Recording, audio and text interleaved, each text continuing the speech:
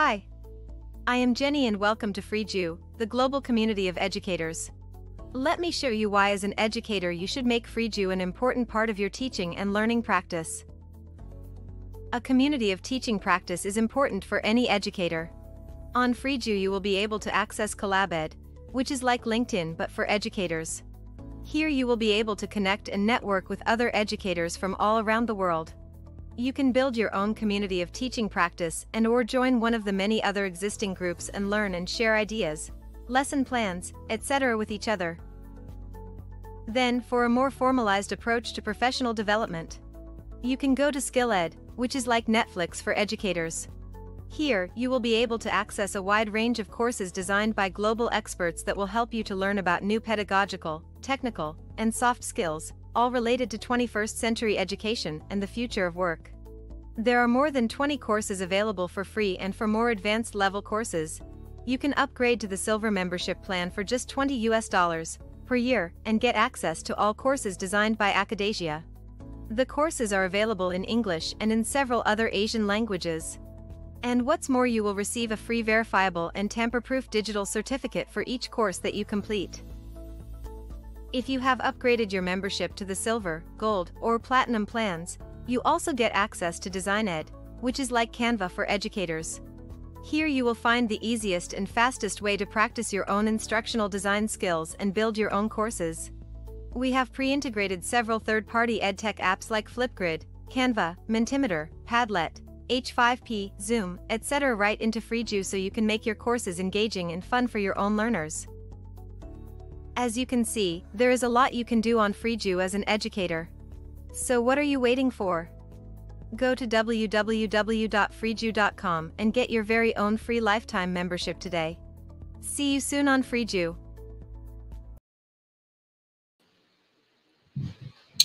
Hello, hello, kamusta? Welcome uh, to all our friends uh, from all over the world. As you know, Akadasia is a global community of educators.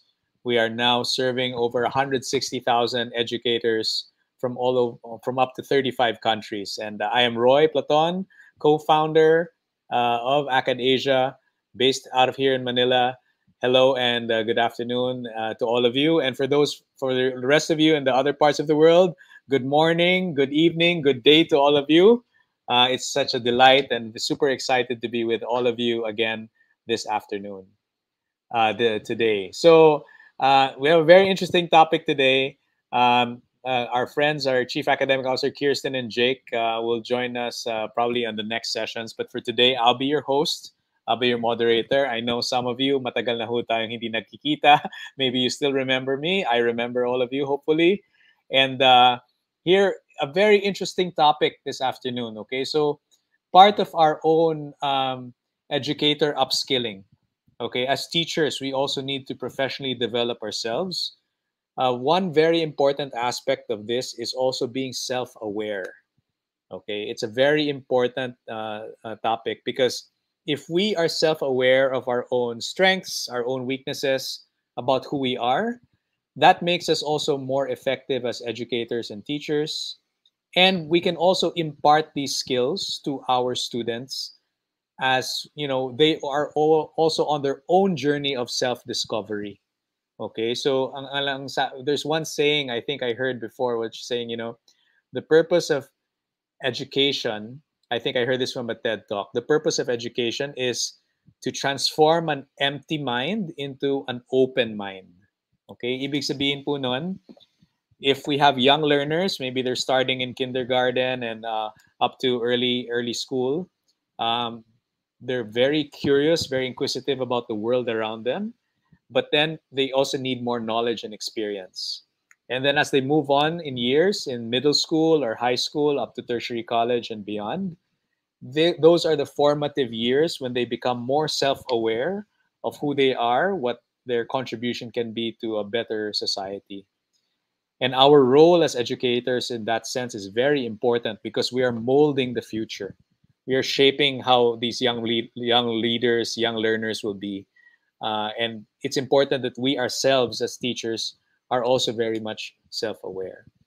So we've invited our speaker today, uh, and he's uh, one of the experts on this, and uh, we're glad that he's joining us. Um, his name is Mr. Joseph Alvin Pena. Just call him Alvin. He has been an educator for over 17 years, and he's worked as a reading therapist for about three years, a guidance counselor for about 12 years, and also as a tutor in, uh, for about seven years. Okay, so he's been around and really has had a lot of experience on this self awareness topic. Apart from this, he is also a counselor and a volunteer for the Archdiocese of Pasig City here in the Philippines, uh, helping people with uh, drug addiction in poor communities in Pasig, Pateros, and Taguig, various uh, communities and municipalities in the Philippines.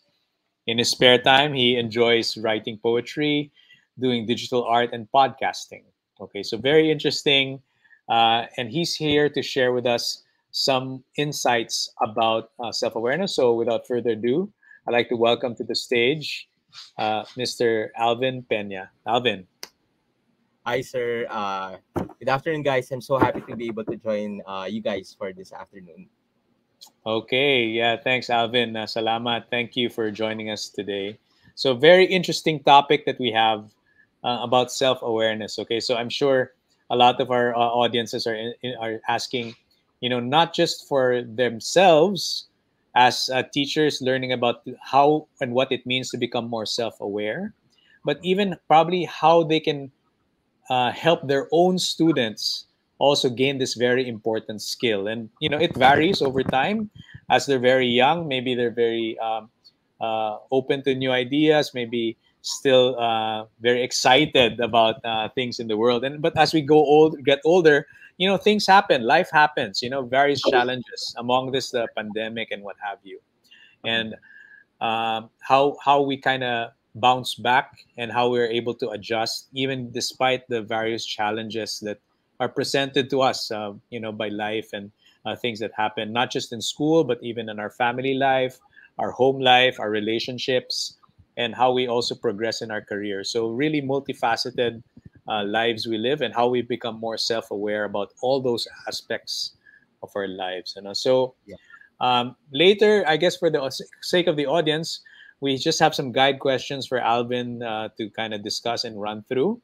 In the meantime if you guys have questions that you'd like to ask at any time um, our team here in Akadasia will be flashing the link to mentimeter on the screen so here and in the chat. So as always please visit the Mentimeter link and post any of your questions about the topic there. And later, towards the end of the session, uh, we will be uh, taking questions uh, from you and, uh, of course, sharing it with our speaker today, uh, Mr. Alvin, so that he can actually respond to those. So we'll have uh, some audience participation later in our program, okay, for today. Again, this is a fireside chat. Kwentuhan lang tayo. We're just going to be telling stories and sharing with all of you our discussion today. Okay, so just post your questions using the Mentimeter link that will be shown in the chat. Okay, so uh, Alvin, yeah. Um, so I guess I'll just uh, run through some of the questions here just to kind of, you know, uh, mm-hmm. prime us and uh, move us along. So yeah. obviously, the first question is, what is what is self awareness and what does it mean to you in terms of and you know why why should we care about self-awareness mm-hmm. in the first place i see okay personally self-awareness to me is um it's uh an individual's consciousness with this inner world the, the interaction or the connection actually of what is in the inner world and what is the outer world. And uh, i know it sounds highfalutin but what does uh one's what does what is one's inner world and what is one's out, outer world? Uh, maybe uh, I could give some examples to illustrate the how these two affect each other. So let's say, for example, um, so most of us are educators, uh, and here in the Philippines, for most of us, we would have to commute or to drive to work. Um, let's say, for example, you get stuck in traffic. So the traffic is what's happening in your outer world, and what you are feeling and what you are thinking is what's in the inner world. Uh, being stuck in traffic, are you feeling worried?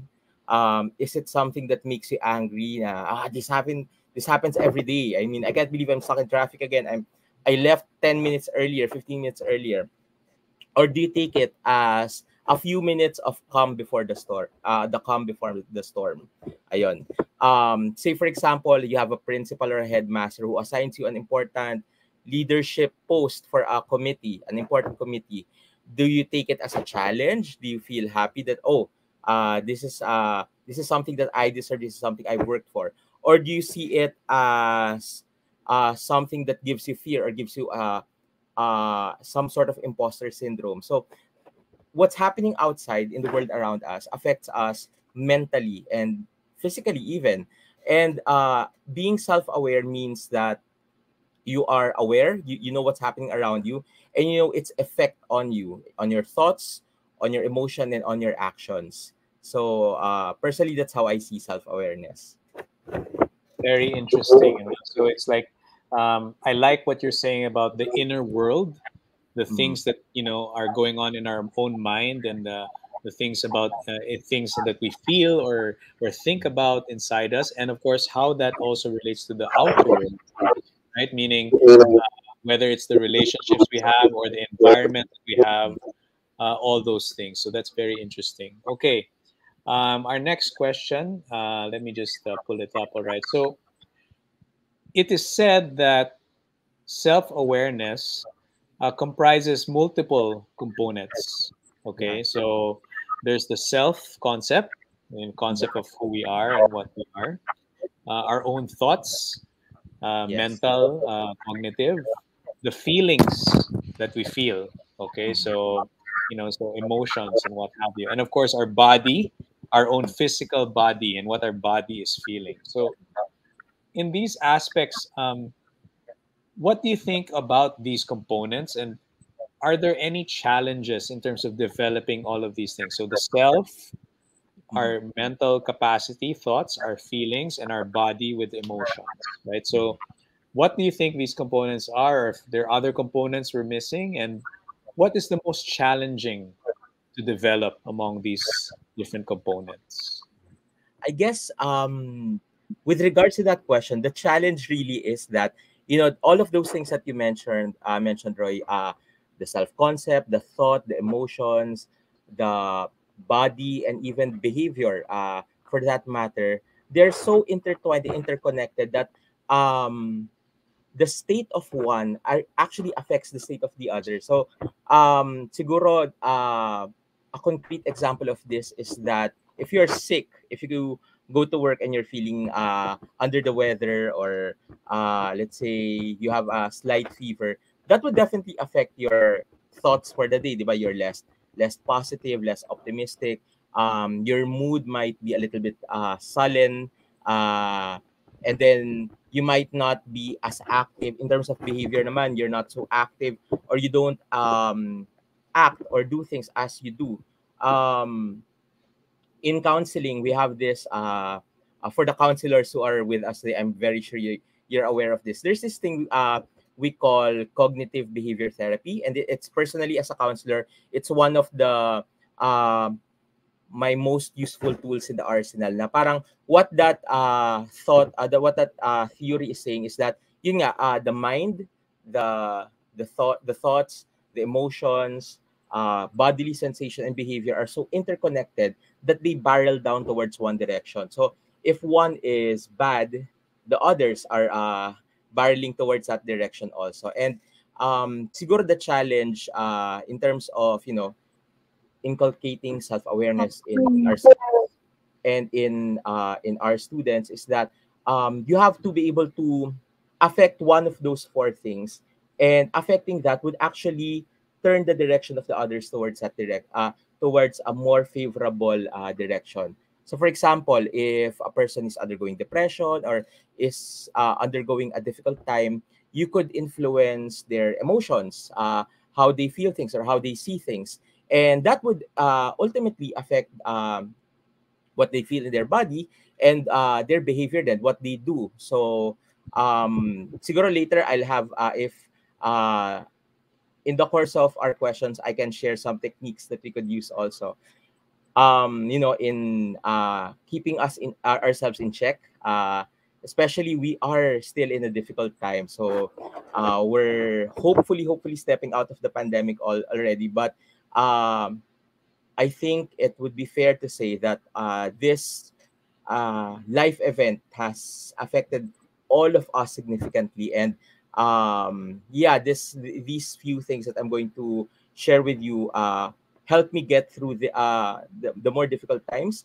And uh, I was able to use it also to help my students. So, ayon, again, going back to the question, which is the most challenging, um, I think being interconnected, all of them are challenging. And the challenge really is, um, you know, uh, being able to influence one because the others, the other aspects affect that one facet that you're trying to influence.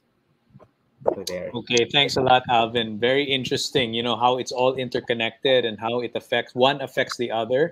So I guess mm-hmm. depending on, I guess for some people, I would say what's more natural to them, right? Mm-hmm. So some people are naturally very intellectual and can process yes. very sophisticated concepts. Others are more emotional. They express yeah. themselves through art or uh, through performance, through dance, and they feel a lot of things. And others are very physical, right? They like sports, they like running, they like uh, fitness, and yeah. and those are all aspects of ourselves and how and how, as you said, one can affect the other. If we're sick, then we feel down, and and, and it's all interconnected. So very nice insight there. I just have to what you said na ano it it depends on what what the person is drawn to because I remember I have this one student who is a student athlete uh he's mm. I I think was at grade 2 at that time and he was really upset I just uh parang yon he he has difficulty expressing his anger and he's not aware mm. that uh that his means of expressing anger is kind of destructive and I told him you know what okay go to the gym run it off and then come back here in 15 minutes and then after that, that's the time that we were able to talk. So yun, um, since I rec- we recognize uh, he's more on the physical side, it is something that we were able to use in affecting his emotions and his thoughts also. So I, ano, uh, uh, I just had to uh, agree with what you said earlier. Na yeah. Yeah, that's great. And also, I'd like to kind of have a short shout out to our friends from all over. So. Uh, we have our friends from Indonesia. I saw in the chat, Terima kasih, our friends from Indonesia and of course our friends from Thailand, Kabungkap, Kabunka. I hope I'm saying that correctly. uh, nice to see all our friends also from Thailand uh, joining us today. Okay, so uh, I will uh, go on to the next set of questions. Okay, so some say, uh, Alvin, some say that the primary benefits of self-awareness is that it gives us power to influence outcomes. Mm-hmm Okay, so the benefits of being self aware is it gives us power to mm. influence outcomes. Do you agree with this idea? Or why or why not? I totally agree with that. Um, and sometimes the outcomes are not overt. Sometimes it's not concrete, but self-awareness do uh, do influence outcomes. For the more overt and concrete examples, you know, if you are aware of, let's say, for example, your skill level, of uh, what you know and what you can do. If you have that self-awareness then you don't over volunteer diba? or you don't um short uh sell yourself also. So you're able to tell yourself and other people this is what i'm able to do and this is what i'm able to deliver. So uh your your ideas what you know and what you can do is maximized by that. Um there are also some outcomes that are not overt or are not um, not obvious. observable, that, that are not yeah. obvious. And uh, self-awareness does play a huge part in that. Siguro, I'm thinking of um, a more historical um, example. Uh, and what I thought of eh, are two people, Nelson Mandela and uh, Viktor Frankl. They were, mm. uh, of course, incarcerated for such a long time. But if you would read their autobiography, their level of self-awareness is so high it's so uh, it's so sharp that despite of being in that situation where you are literally sitting in a dark room for like years on end it didn't drive them crazy. They they still found meaning and they still found insight in their current situation. And of course that that did not last forever. They didn't die in in captivity, uh, they were able to come out of it and they were able to share the insight, uh, the awareness that they had during that time. And that is something that is not so overt at the time diba when when they were at in, jail and when they were being persecuted. And yet uh i believe self-awareness played a huge part in that. So i totally agree that uh self-awareness having having self-awareness does play a huge part in influencing the outcome uh, yeah, yeah, that's a great example uh, alvin because you know the the situation, although it's not really exactly being in jail or being mm-hmm. incarcerated, but let's say Viktor Frankl during the Nazi uh, Holocaust yeah. period, and of course Nelson Mandela during the apartheid in South Africa, right? Yes. But you you feel trapped. You feel yes. like uh, you cannot do anything because you're only into this cell. And similarly, mm-hmm. during the pandemic, I think a lot of us felt yeah something like that, right? It, it, although we were not in jail, it felt like we had to stay in our homes and, and yeah. in in the small room, and that's it. And we couldn't go outside, especially when lockdowns were much more uh, more enforced. And now, I guess we feel very lucky that slowly, mm at least for some uh, countries and some uh, areas that are a little bit that the cases are now going down and are less uh, less prevalent. We're actually enjoying a bit more about going out. But you know, how how would let's say even teachers or students, how would they kind of uh, consider that situation and be self-aware enough to say that this is not the end. we are yeah. not confined to these spaces, and we can still continue to teach, continue to learn despite that confinement. Yeah, you know what? Um, I uh during this two year period that we were in the pandemic, I really uh, it, it gave me such huge pride that I, I'm a I'm an educator and uh, seeing the teachers, the educators around me, I realize how how creative everybody is. Uh, I I know of some teachers who who are teaching online who require their students and they themselves also do it. They wear costumes on a certain day. Parang they, defined mm. of uh, injecting life into into the discussion and into into uh, the lessons. Uh, of course, because we're doing it online, like like uh, this webinar, and um, that physical contact that we lose, uh, that we that the students are used to when we were uh, pre-pandemic is is such a huge loss. No, not just uh, mm. it, we we learn it. We learn a lot of things also, not just from the lesson what's on the lesson plan, but with the interaction that we have with our teachers, with our with our classmates, with the with the people around the school. And um, I'm so uh, impressed with how how creative, how inventive the teachers are. And uh, I'm not just referring to the fluff of it, uh, of wearing costumes or finding the best uh, online games or, or whatever uh, gimmicks that they inject. But even connecting to the students in an in in in a personal level even if they're just facing uh, a computer screen and they're still able to connect with them in a personal level amazing. It's it's really amazing how how teachers are able to transcend and go beyond such hurdles. Yeah absolutely agree with you alvin. And you know again kudos and cheers to all our teachers here nan you know you went the extra mile and took the extra effort to really connect with your students. Uh, uh, you are really the heroes of this pandemic. So thank you very much for uh, all you've done being excellent teachers. Um, so let's let's let's now try to discuss let's say about the students themselves right? So when can you say that a student has become more self-aware? And what factors do you think can help the student in their environment or mm what do they need to initiate so that they they be, they are aware of the need mm of becoming self-aware? And maybe just as a follow-up point to that how do you think a teacher can explain or help conceptualize mm the the idea of self-awareness to students? How do you think what kind of techniques or things they can do to help students be, become more self-aware? Okay sige. Um for the per- first question, um, most of us, uh, most of us, even as adults, are unfortunately not uh, by default self-aware.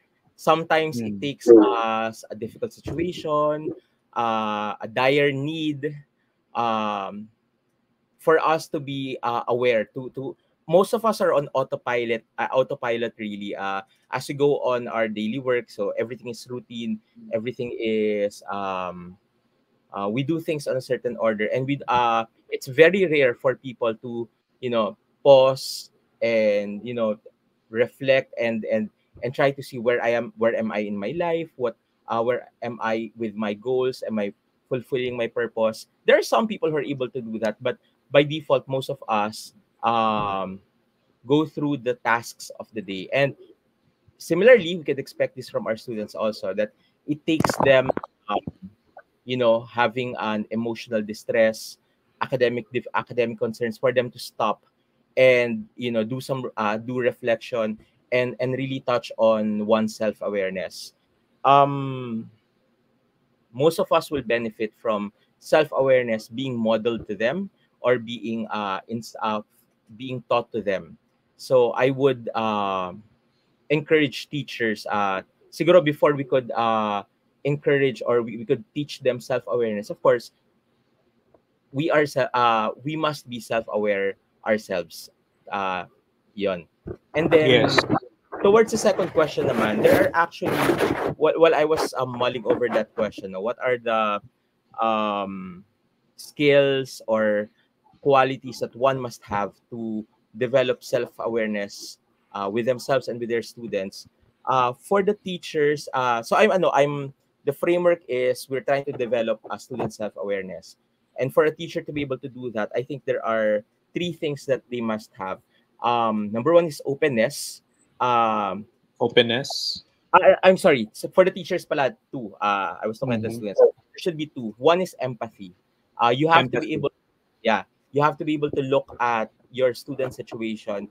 And one must say uh, you have to uh, wear the shoes of the person and walk for a mile uh, with his shoes. But I think more than that, you should be able to put yourselves in the uh, in your students uh, in your students position and situation and uh, try to be able to think to feel and to act like that person. To gain understanding to to see that person through and through understand what he's thinking what he's feeling and why might he why he might be acting in a certain way yeah. So, for example, just on that point, Alvin, if I can interject, it's like sure, sure. when the pandemic was starting, um, the issues had been, let's say, uh, internet connectivity, not being able to see my fellow students and classmates, and of course, submitting the assignments, ah, right? Yeah. So, so like before, um, some of the teachers we trained, these are some of the challenges that they had because basically they had to adjust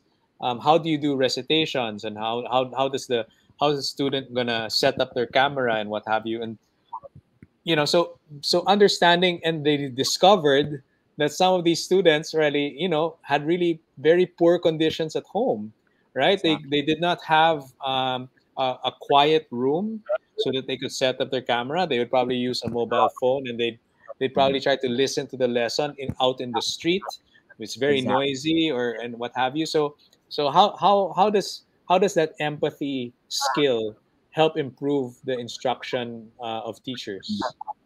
You know, having that awareness, nga, na uh, knowing that some uh, some people would have that situation of trying to I've heard of stories of people yon uh, learning from uh, using your their mobile device uh, a phone to learn uh, to, to to connect to their class. Some of them would have to go go on their on their house's roof or climb a tree especially for those who are in the provinces.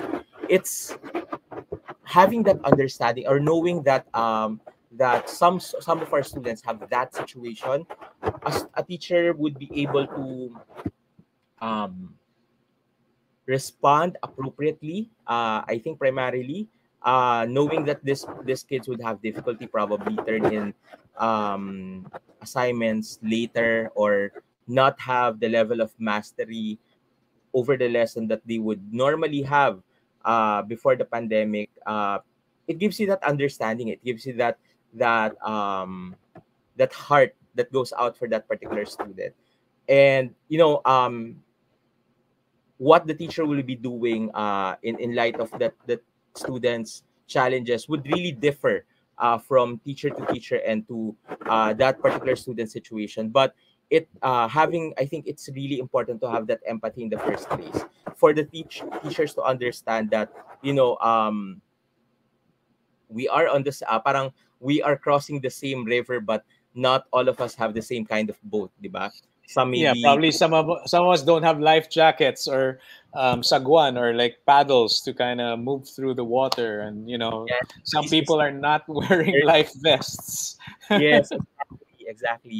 Later on, um, I saw a question about activities that uh, that could conduct self-awareness. I'll be sharing some activities okay. later on. Uh, but to finish uh, this first question, another mm-hmm. would be sensitivity um sensitivity okay. Uh, for people to have sensitivity. And that's very difficult i have to say.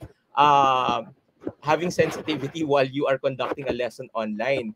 Um mm. sensitivity i think has two as facets. Number one sensitivity over your reaction the, the teacher's reaction of, of what you're going to say your facial expression of what uh, your your movement your face and your words are going to communicate to the students.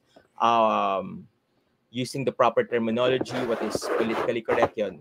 That's that sensitivity. But the other aspect of sensitivity is um, because most of our students are undergoing um, difficulties academically and sometimes even emotional difficulty because of our situation.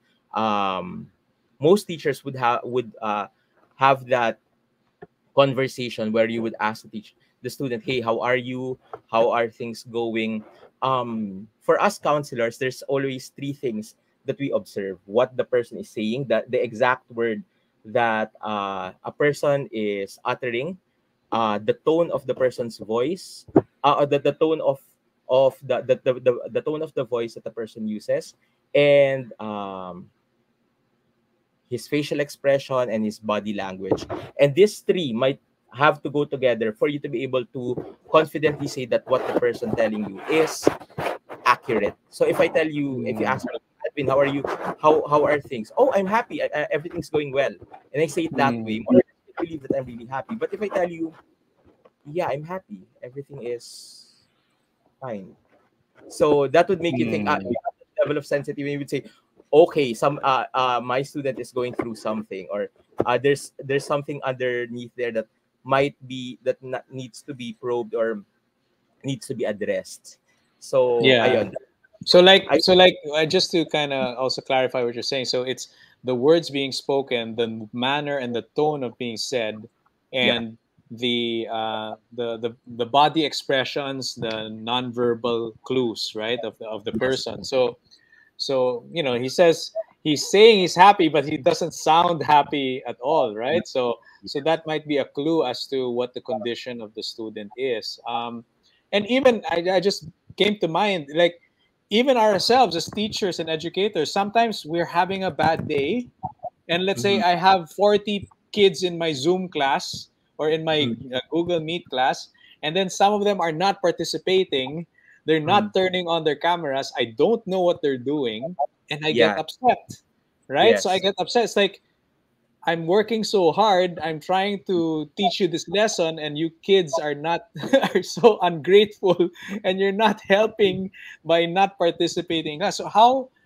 So then it affects the way I'm teaching, right? Because yeah. then I'm not focusing on the lesson. I'm getting mad. I'm getting upset. Yeah. So so what what can a teacher do in situations like that where you know they're maybe it's the end of the day or they had a very bad week whatever how how can the teachers kind of catch themselves and be more self-aware. You know what? Um it's hard to to really do something especially if you are in the middle of a class. It's you can't uh you can't really just you know step out of the room and say okay we're going to have a five minute break. I just need to breathe. Uh of course again really do that and maybe they can maybe they can because it's virtual right? It's virtual. So they could yeah. say okay we'll take a short break five, five minutes. yeah, yes. yeah so turn off cameras and come back. But then when you come back some of the students are late they don't come back right so, that's that's that that's the risk naman of doing that but um siguro just to uh segue and to slide into uh miss batal's question also of some of the activities that we can do mm. that will hmm. promote self-awareness there's this um one activity that uh that is very easy. You, you actually need just three to five minutes to be able to do it. Uh, and Mm. you can do this uh, to uh, to improve your your mood or to improve your your bodily state or this is something you could prompt and ask your class or one student to do uh, to more or less uh, reset their mood or reset their their focus and their attention and it's something very uh, relaxed breathing some breathing exercises so Breathing exercises. Okay. Yes. Um So let's again try it. I'll try it. yeah i'm going to uh, i'm going to uh, demo it with you guys and though i cannot see you guys uh, this is something that's very easy so you could just follow uh, what uh, i will be doing what Saroy would be doing um, but before uh, but before we do the exercise let me preface that with by saying that you know what's going on in our minds affects our body and our bodies affect our mind. So uh, this is one of the exercises that affects your body that hopefully would influence your state of mind and your emotion. So Mm. one breathing exercise it's very very easy it's called box breathing. Um it's called box, Box breathing. breathing. Okay. yeah. So basically uh you can do this with 10 to 20 intervals. All you have to do is to inhale uh four counts inhale and then you will have to hold it uh and then four counts exhale and then hold it uh, the hold is also four counts so inhale for four counts Mhm. hold for four counts, exhale for four counts, and then hold again for four, count, four counts. And then you do it again. Uh, second interval, inhale, hold, exhale, hold. So let's do it together. Okay? Okay, let's try it. Let's try it. Okay. What you should be thinking, or what you could be thinking while you're doing this, is that you are inhaling peace, inhaling uh, that feeling of relaxation, and then exhaling whatever stress that is yeah, in exhaling your stress and exhaling uh, uh, negative thoughts, right? Yeah, yeah. Okay, So- let's try a few intervals. Let's try. Okay.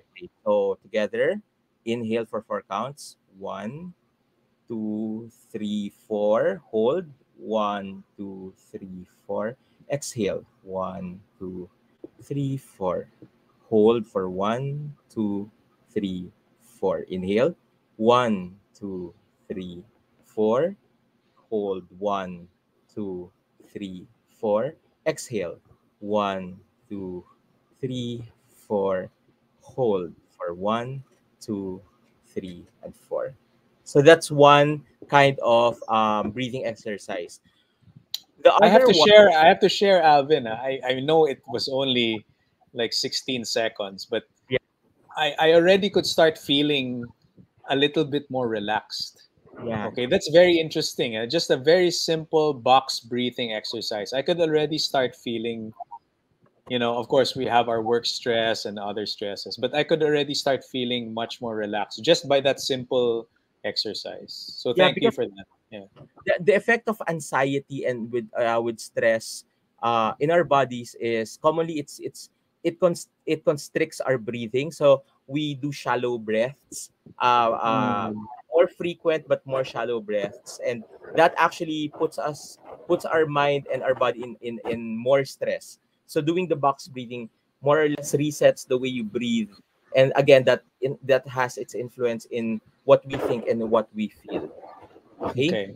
so Okay. that's one thing that you could do um another thing this is something that uh you can do at the start of the class naman um again self-awareness is uh something that can be modeled uh, and something that can be taught and for people who are not self-aware uh, one of the things that we uh, fail to be aware of is uh, the blessings and the good things that are happening around us and the good things that are in us diba? especially during this time of the pandemic it's so easy to um you know you have the news you hear all the bad things that are happening the illnesses and the lives lost because of the pandemic um the restrictions and the things that we are not able to do it's so easy to notice those things eh.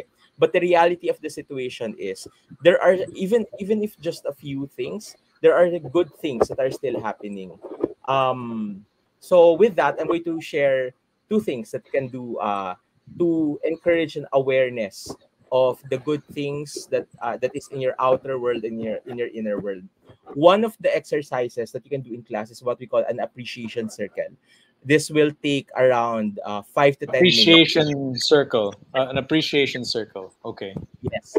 Um, siguro if we are doing a face-to-face class, what you can do is have your students uh, sit or stand in a circle, and then you will Okay. identify one person, and everybody in the group will have to say one nice thing about that person. Mm, So- okay. Okay. modeling um noticing the good thing for the other students who are not uh being appreciated uh, it's modeling that that uh task of okay i need to find something good about this person or this situation but for the person who's being appreciated um he becomes he or she becomes aware that oh yeah i, I do that or yeah I, i'm like that and perhaps that thing is not noticed because of the unfortunate things that that person has has to go through. So what you can do is probably okay. For today, we are going to appreciate, let's say, Kavita, um, and then uh, the first person would say, uh, you know, I really appreciate how you are thoughtful and how you share your lunch. Um, another kid would go, uh, hey, I do, I know you forgot about this, but two years ago, uh, I left my shirt and I couldn't uh, I couldn't participate in this activity, and you shared your extra shirt with me, and I was able to join. And can you just imagine being that person who's being appreciated? All of a sudden, it's like your birthday. Everybody um, says something nice about you, and it's actually Mm. helpful also for the other kids because um, it's so easy to be negative sometimes, and um, it has an unconscious effect. Eh? Um, if you're able to see the good things which I would like to segue to the second activity. And this is something that you could uh, prompt your students to do. And this is something that they can do on their own time, which is journaling. Uh, I know Journaling. Okay. Yeah, I think somebody posted in the comments of writing a diary or something like that. yes, Yeah. yes. Yes. Um, it has fallen out of favor, I think, for most kids nowadays. Uh, personally, I'm I'm old, and uh, this is something that uh, somehow I I did on my own without my teachers having to prompt me. And the way that I do journaling and the way I encourage my kids now as a counselor to do journaling is you write down three things that are good for today, that that went well, that were that were pleasing for today. And Three good things is- about today. Three good things Yes. about today. Yeah. Okay. Yes, three good things. But you are not allowed to repeat it for the rest of the week. So at first it's like ah, okay. Yeah. Okay. they, they write, I like my breakfast. Uh, mom cooked hot dog and it's my favorite. And the following day that the mom cooked hot dog again, he can't write that down. Cannot write that. Cannot. Um, and it, it's a, it's a task, it's a chore at the beginning. But what makes uh, what uh, the effect that I see it has on my students is that they become more positive and optimistic by default. So I would Mm. hear one student who who used to be so negative and who who's so critical with his classmates. I would hear after doing this exercise for like a few months, he would say, uh, sir, I'm late today. But that's okay. I got to watch my favorite movie while I was in the car. So they they suddenly the finding the good thing suddenly becomes automatic for them. And this is actually something that is very helpful uh, when I was working with kids with depression, with uh, Mm. of self-harm, and with suicide ideation. This is something that's that's really helpful. You know, to to be able to um, cast your gaze and draw your attention towards what is good. So Yeah, that's fantastic, Alvin. I just want to just go through some of the comments we're seeing. So some of them are trying the breathing exercise. I think see Mr. Fernando, he does mantras and meditates 10 minutes per day. That's fantastic. And then some of them were actually using the box breathing, and I think Mr. Marcos felt relaxed. Okay, so I think they're feeling relaxed just doing the exercise. And um, there's some other comments here. In fact, uh, how we can uh, do the appreciation circle not just with our students but with our colleagues. okay, so very some, good. some, yeah. yeah actually um in my last workplace uh we did that. And i i believe some of them are uh are uh in this session right now. So hi guys. Yeah i'm i'm nervous. But anyway that you're here. But uh let me share about one of the things that we used to do. So before we start our weekly meetings we would do that. We would um do the appreciation circle. And we would share about uh, a, a small favor or something sometimes something funny that that person did and it lightens the mood of the meeting. Mm. uh, this is something that you can do uh, during your meetings and um, when you meet uh, of course it would be odd if you're meeting for a, a person for the first time. Maybe your uh, people in your department people in your um, subject area when you do meetings you can do this. And if it is helpful with our students it's definitely helpful in improving one's mood also and, and even improving the relationship your relationship with your colleagues Yeah, so the appreciation circle, and then of course the journaling, but no repeat. journaling, positive. yeah after a week Yeah. After one week, no repeating of the journaling of positive things. It can also help the students. Yun nga, I like your example na reklamo lang siya ng reklamo, but then he started realizing, okay, there's something good pala about I it. mean, ano, uh, one once one short sharing also. Uh, a modification of the journaling activity to make it more communal and more public is that um, there's this uh, pla- uh, uh, website called Padlet. Uh, Padlet, yeah. So some of our teachers, in fact, us in Akadasia, we use Padlet a lot. So yeah, yeah. what we what I would do sometimes in my class is I would share a Padlet link and then there's a there's a guiding questions and it becomes like a community wall for the week. Parang, what are you thankful for today? Or um, uh, say something, ano, what something daring you did for today, and then they share their blessing or the, the good things that that that they thought of or that they experienced for the week. And um, if doing it, if journaling is beneficial uh, by itself already, doing this as a community or as a group, it it multiplies the benefits tenfold. There's something blessing and there's something um uplifting seeing a person's another person's struggle perhaps in his early posts in that in that padlet wall. And then later on there would be a resolution to the struggle or to whatever that person was probably praying for or working hard uh, for. And then yeah we we benefit from each other's insights and each other's blessings as well Yeah, that's great, Alvin. In fact, I want to share that uh, you know in Freejoo in the Akadasia community, so all the Freejoo users, we Padlet is already built into the course builder, so they can actually insert the Padlet. And if I may, I just want to share uh, something uh, uh, about uh, one of these uh, things that we shared. Let me see if I can share a different window. Uh, I'll share as exactly what you're saying and I hope she's watching if I am able to share it. Let me see here. Um, okay. Uh, no, I'll just share a tab. This one. Okay, I'll share this, and then I'll ask Mai. She's in our, she's in our backstage. If she can, if you can see my. So here. Okay. So actually, I don't know, uh, guys, if you know that it was uh, Kirsten's birthday just the other day.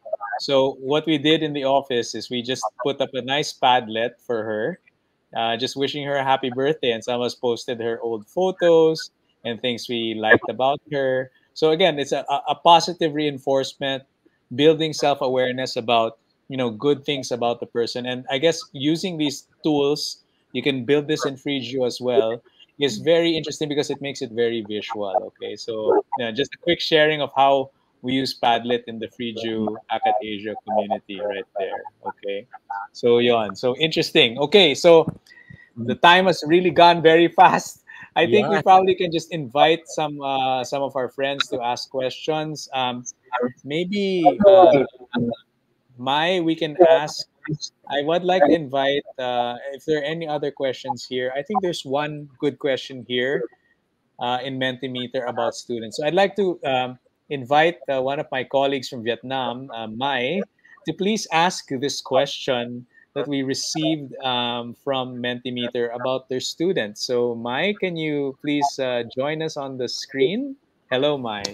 Oh, hello guys. So thank you for introducing me, and it's my pleasure to join you guys today. Uh, so we received a lot of questions from the audience, so I'm on their behalf. So I sent one is uh, this one. I think the most of teachers out there is really concerned about this. So the question is, how do you manage yourself if you feel annoyed to students who do not want to turn on the camera during the online uh, discussion? So we uh, would like to hear from you guys. Yeah. Um, Thanks, Mike. Okay. Thanks. I I've had that experience before. Um, I think uh, uh this is a just a personal uh, my personal take on it, but um, I would have in the past I would have one or two students who would really refuse to turn on the the video. Of course, we would try to encourage them, try to see if they're awake or if they've fallen asleep. Call their name for a lot of times. My, kindly turn on your camera. My, my. And if the person doesn't respond, um, I remember I um, I went through the lesson. Uh, I, I I really can't. I couldn't sacrifice a huge chunk of the instruction time. Uh, trying to encourage that person to to turn on the video, and then later on, I tried to uh, send that person a message and then ask, "Hey, can I speak with you uh, at this time?" So I, I set a time also for for me to because uh, I I was teaching a subject uh, in that uh, in in that person's course, but at the same time I was also his counselor. So I scheduled an uh, sort of a counseling appointment with that person, and then I asked her, "Oh my, what happened? Um, were you uh, did you fall asleep or um, were you having connection difficulties when I was asking you to turn on uh, your video at this time?" And then that person shared with me that she is painfully shy, and she's ano she um she's just afraid that uh she's going to get called or um and that her face will be flashed uh, her huge face will be flashed at everyone's screen answering a question probably failing to answer a question so i made an agreement with her na okay um I will not call on you. And if there's a question that you would want to answer, you can do it on the chat box. But please, uh, you know, uh, as policy and as pro, uh, practice, let's turn on the video. If you do not speak or if you, if I don't call on you, your your your video will not flash on the screen and she understood and then after that i didn't have that difficulty with that particular person sometimes um i needed to uh, if if talking to the person doesn't uh sometimes doesn't work sometimes i needed to talk to that person's uh, parents and mm-hmm. they're able to draw out the difficulty uh, that that person might be otherwise scared to to uh, share with me. So I guess what I'm trying to say is uh, try to get the attention of that person for that particular time. But if you're not able to um, influence his behavior or make him do what you want to do, um, don't sacrifice the rest of the class. Try to move forward. Try to work around the difficulty. And uh, on a more private uh, setting, try to find out what's wrong and how you could help that person with uh, with his or her difficulty. Because if that person doesn't have a difficulty, he would otherwise followed. He would have done what you're asking him to do. But since he refused to do so, there's something there. And uh, maybe a more private setting would be a more appropriate uh, course of action to help that person. Yeah, that's a great answer, Alvin. I, I, I think I also uh, resonate with that. Sometimes, if we have time, maybe a one-on-one session with the student just to get them to share, because it also depends on the types of students and how they express their learning or how they express themselves. Maybe they're not they're they're shy, they don't like using cameras and video, but maybe they're very good at writing, right? Yes. So so written projects. So the kinds of output that we ask from our students, whatever kind of assessment or recitation or participation we ask of the students, I think it'll also help if we have varied ways of assessing, varied ways of getting inputs from students. So not always a oral recitation. Sometimes there's written projects. Sometimes there's group work. So hmm. maybe in the group work, maybe there's one of the students who's very confident in public speaking but then you as the teacher can ask okay how did the others contribute to the project? Can you please yep. share? And then they point out the confidence. And then let's say uh, the student says oh uh, my helped me because she has she was very good with the research and she made very nice slides for example. And then and then you can ask my let's say my so your teammate said that you made such nice slides. So what inspired you to make um, the slides like this, right? So kind of engaging questions like that during the group presentation can help maybe the shy person maybe express themselves a little bit and they get a little bit more comfortable with sharing uh, positively in the session. So that's that's very interesting. Um, okay so there are a couple of more questions now. Dumadami na po. Okay there are more questions happening here now. Uh, there's one question here.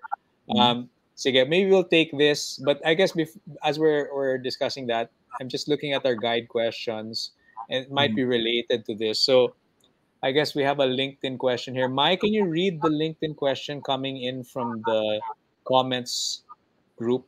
The last question that was posted there. Okay, sure. So this question is from Nilo Lapat. Uh, mm-hmm. So Freejoo, how do you handle students who are having difficult in an online class? Okay, mm-hmm.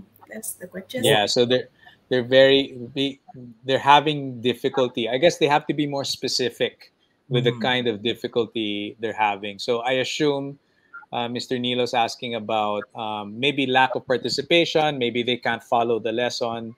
Mm-hmm. Um, so how do we become more self-aware of that situation, and how how can we help? And this is related to the guide question that we had earlier: is how can the school or the home support one another in promoting self-awareness among the students right? So so the student has to be more aware about i'm having a hard time with online instruction right? I'm having a hard time but then you know how do you kind of get the student to participate? How so how can the school and how can the home help the student uh you know uh, sir there are two things that comes to mind the first one um while the question was being asked this uh quote uh, just flashed in my mind.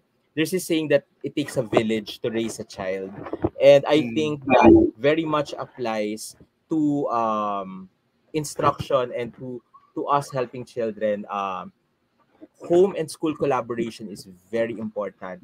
I mean, mm. pre-pandemic, back, back when we were doing things traditionally, it's very important. All the more now that uh, there are uh, uncalled for challenges in in terms of instruction in terms of learning um if at, it would be very helpful and very important if the teachers the school team is in touch with the parents and the the, the adults the guardians that the kid have at home um if we have this kind of close communication then we can discuss the difficulties that they have. How's your internet connection?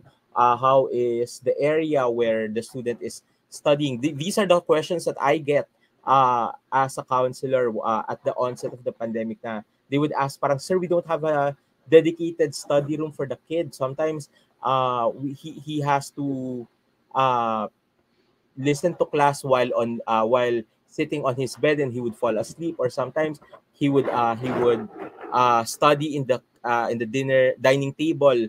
And we we work around uh, we can uh, tailor fit our uh, plan of action when we have that communication at uh, with home and with with the school. So i would tell the parents okay under no circumstances should the kid study on his or her bed. That should be devoted to sleeping uh, if you study on your bed then you will have sleeping problems or you would be falling asleep during class because you're you're confusing your body if it it's study time or it's sleep time. Uh, otherwise, if you want to study in the dining table, that's okay. But have ideally have a dedicated place for study. So there's this one particular spot in the table where you're going to study, or if you're going to study in the living room, then there's this corner.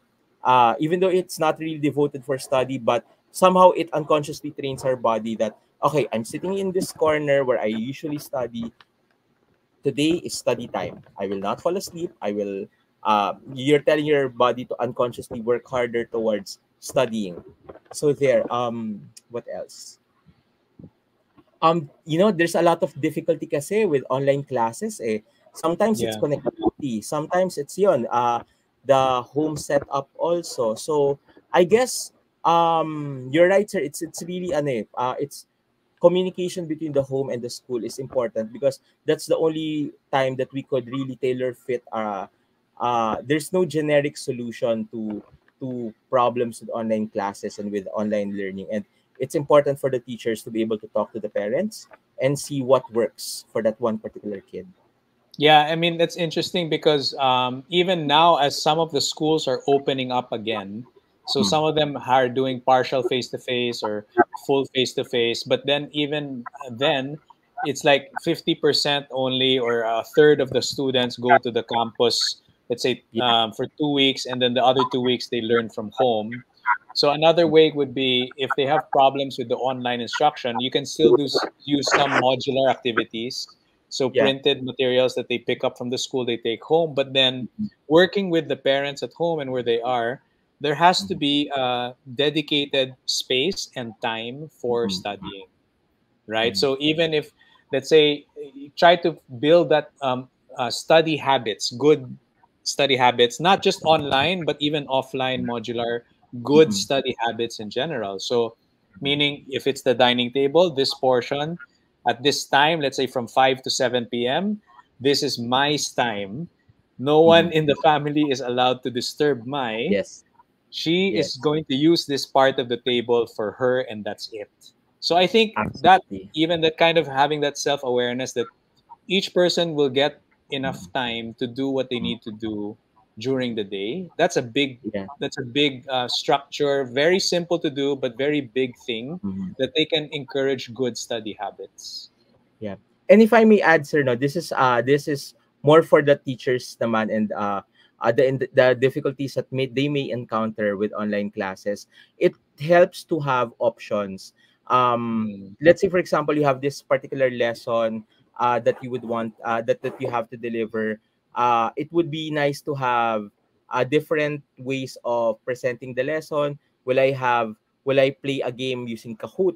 uh, or are we going to use this particular are we going to watch a video or are we um, reading this section of the book it's it's good to have these options so that if one doesn't work let's say for example you have a game planned for that day but for some reason the, the website went down or connectivity is bad for the teacher or for the students then you have plan b okay let's not do the kahoot let's do this instead and um sometimes also if we have students who are not able to connect um, to our classes, having options also uh, would allow us to tell that person, okay, this is what we discussed.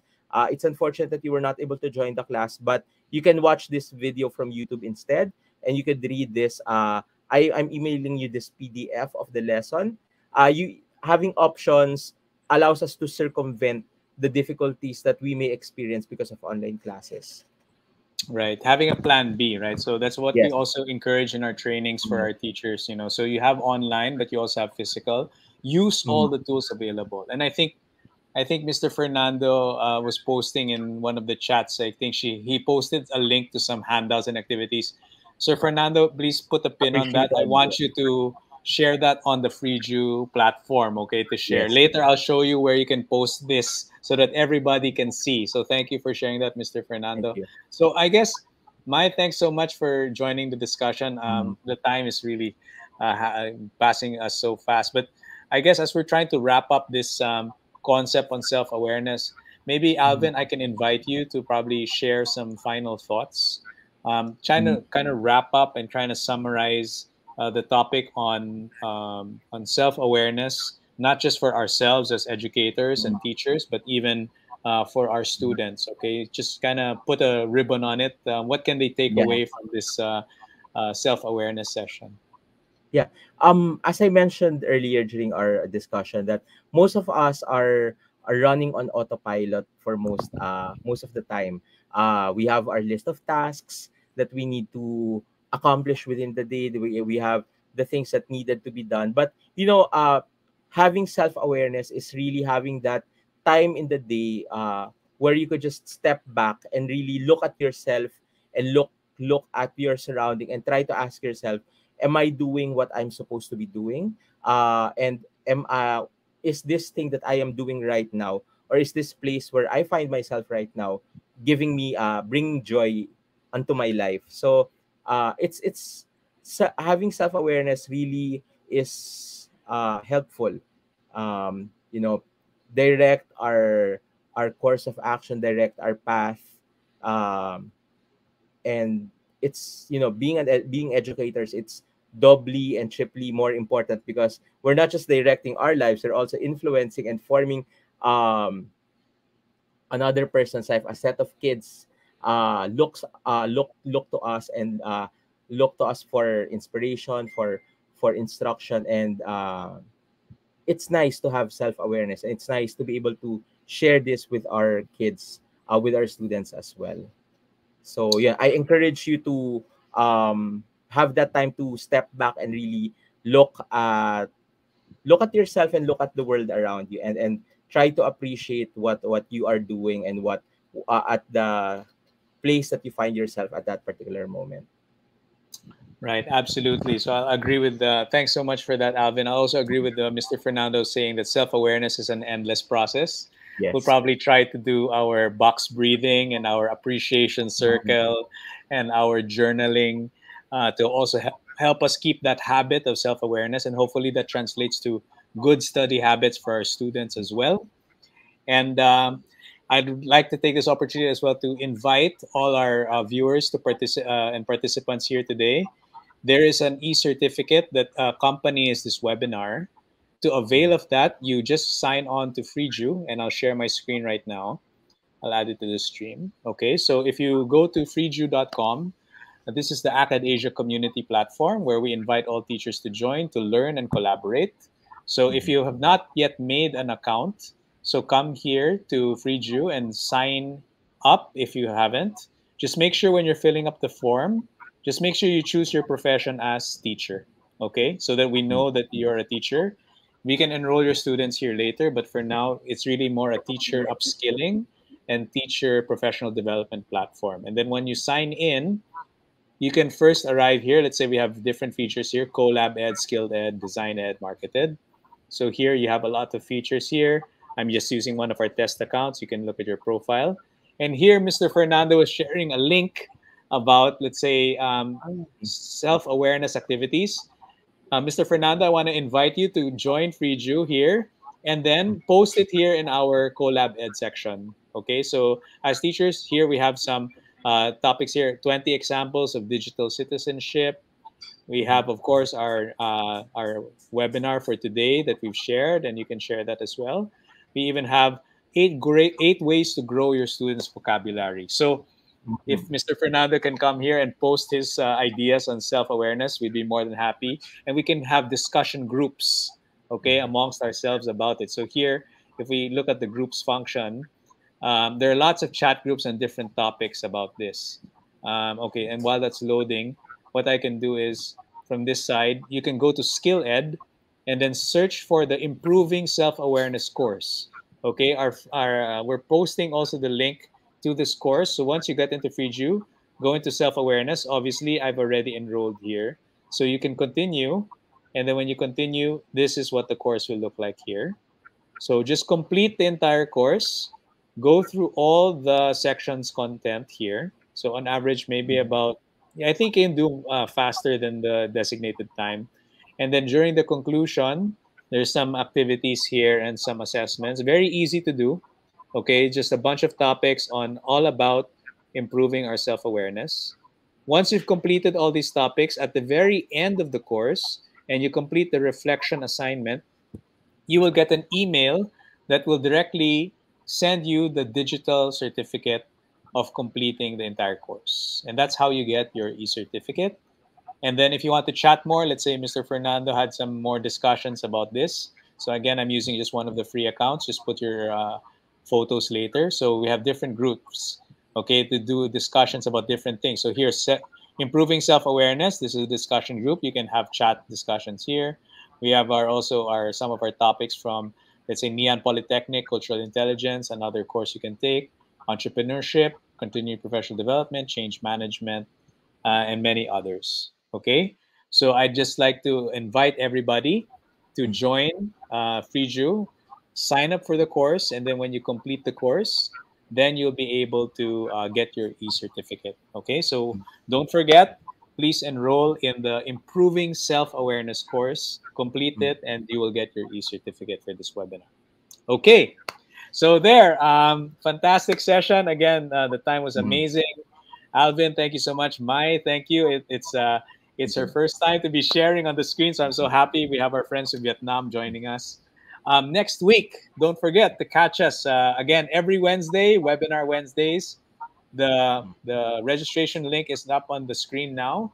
Uh, the topic for next week is practical approaches for maintaining a work-life balance. Okay, so I think it's a great topic, practical approaches for maintaining a work-life balance. There's also an accompanying course with certificate for that next week. So I look forward to seeing everybody next week. Thanks again, my Alvin. Uh, sayonara, paalam. Thank you so much. Uh, great session today, everybody. Thank you. Okay, Bye, thank guys. you. Bye. Bye. Bye-bye.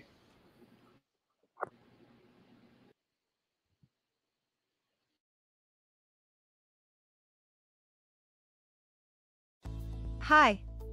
I am Jenny and welcome to Freejoo, the global community of educators. Let me show you why as an educator you should make Freejoo an important part of your teaching and learning practice. A community of teaching practice is important for any educator. On Freejoo you will be able to access CollabEd, which is like LinkedIn but for educators. Here you will be able to connect and network with other educators from all around the world. You can build your own community of teaching practice and or join one of the many other existing groups and learn and share ideas, lesson plans, etc. with each other. Then, for a more formalized approach to professional development, you can go to SkillEd, which is like Netflix for educators. Here, you will be able to access a wide range of courses designed by global experts that will help you to learn about new pedagogical, technical, and soft skills, all related to 21st century education and the future of work. There are more than 20 courses available for free and for more advanced level courses, you can upgrade to the silver membership plan for just 20 US dollars per year and get access to all courses designed by Akadasia. The courses are available in English and in several other Asian languages. And what's more you will receive a free verifiable and tamper-proof digital certificate for each course that you complete. If you have upgraded your membership to the silver, gold, or platinum plans, you also get access to DesignEd, which is like Canva for educators. Here you will find the easiest and fastest way to practice your own instructional design skills and build your own courses. We have pre-integrated several third-party edtech apps like Flipgrid, Canva, Mentimeter, Padlet, H5P, Zoom, etc. right into Freejoo so you can make your courses engaging and fun for your own learners. As you can see, there is a lot you can do on Freejoo as an educator. So what are you waiting for? Go to www.freejoo.com and get your very own free lifetime membership today. See you soon on Freejoo.